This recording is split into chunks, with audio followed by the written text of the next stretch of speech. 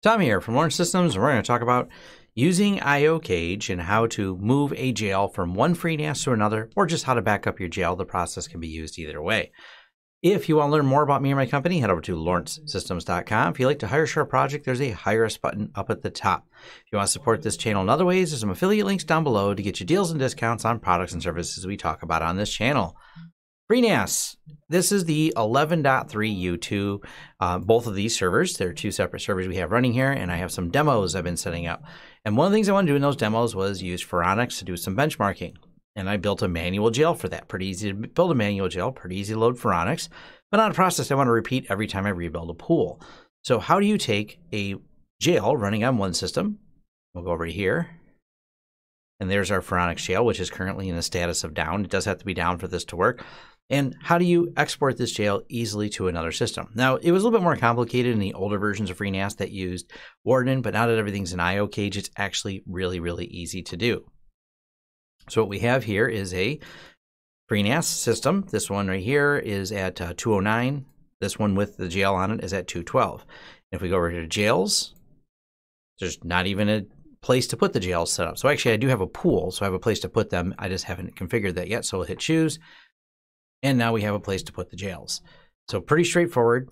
You do have to do that first to make sure that you, even if you haven't created a jail, that you've created that. So when you go to the pool and once you say it, it just creates this folder structure and a couple data sets.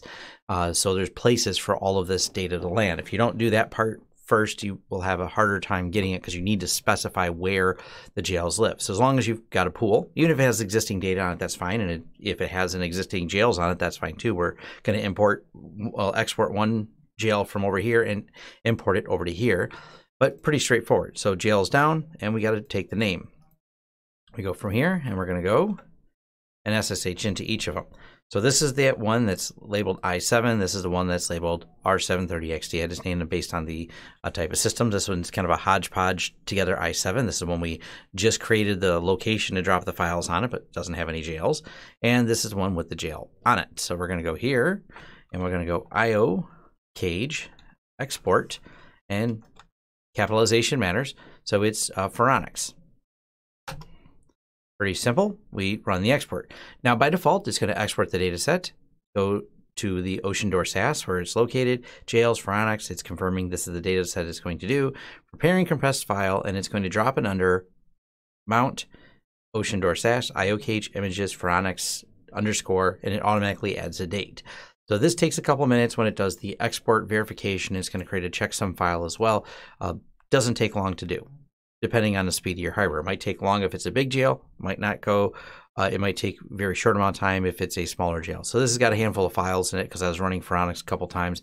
Uh, so there's probably some leftover files. This takes probably about, on this system, about mm, 30 seconds. So we'll just skip ahead to it being completed. All right, that's completed. Now what we need to do, go over to this system here and cd slash, we have this one's called Orion, IO Cage, and we have the images folder right here. So what we need to do is get the file from here to there. Now you could download this locally to your computer uh, so you have a backup of it, but we're just going to copy it direct from one FreeNAS to another. So we're going to, and this is the name, so we'll just copy and paste it to make my life easier. Copy. So SCP, there's the file. 192.168.3.209 colon slash. And then this is the folder we wanted to go into over here.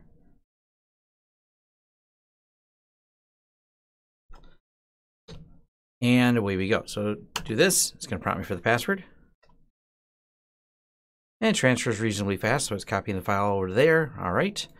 And if we do an ls, we can see the file arrive. Now, we don't have to be in that folder to make this work, but all we have to do now is go to iocage, import,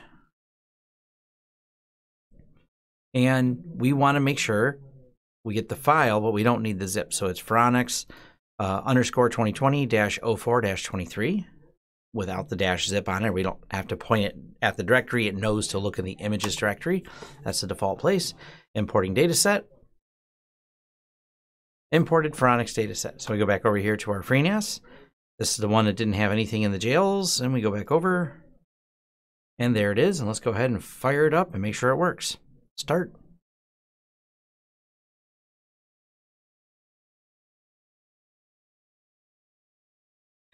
And it's up and running. So jail is up. Let's refresh the page real quick here.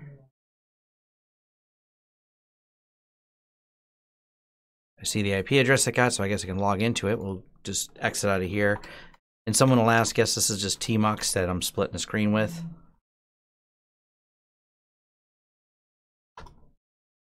And we're up and running, and Phoronix is ready to go. The jail's ready. It's been imported to the other machine over there. There's a test suite, and there's instructions if you are wanting to run the Phoronix benchmark and put it in a jail. Uh, it wasn't too hard to do. It tells you what dependencies it needs and package install, and the way it goes. You're setting it up. But that's all you have to do to import or export the jail from one system and import it on another, provided it's running a modern version of FreeNAS. Now, this is not going to work for uh, just moving a jail from the old previous versions, because I know this comes comes up a lot for people that are still hanging on to the old versions of FreeNAS because they don't want to have to do any jail recreation. This is not a cross jail creation. This is for modern FreeNAS instances that are running IO cage, but they've made it really simple to do. It creates that file. And of course, like I said, this is just a zip file and you could just download it to your computer locally after this. And then you'd have your own copy of it for backups or however you want to do it. Also, yes, this can be scripted and you can get more advanced where you take these and maybe export them to a different data set that maybe replicates somewhere else or backs it up offsite, uh, however you want to configure it. But it's pretty easy to take these jails. And this is, you know, snapshotting them is great. But if you want to actually create that portable file, it just creates a really simple zip file of it's in there. But be warned, and if you have a lot in that jail, of course, that file is going to get quite a bit bigger. Ideally, you're mapping data into jails. You're mapping data sets into jails, uh, not actually storing all the data within the jail. So it should be just the operating system components. But you know, some of them, if you've got something custom you spend some time on, this is a pretty good use case to uh, easily back them up. And in my case, because we're going to be testing a series of different FreeNAS scenarios with rebuilding the pools, I can just keep re-importing after I destroy a pool and all the data. I just copy this file, run the import again, and rerun my test with Phoronix so I can get the benchmarks easier. Um, all right, and thanks. And thank you for making it to the end of the video. If you like this video, please give it a thumbs up. If you'd like to see more content from the channel, hit the subscribe button and hit the bell icon if you like YouTube to notify you when new videos come out.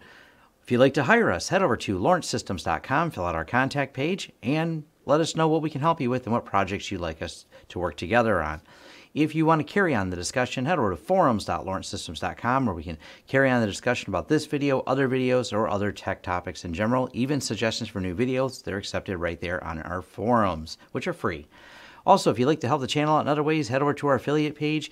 We have a lot of great tech offers for you. And once again, thanks for watching and see you next time.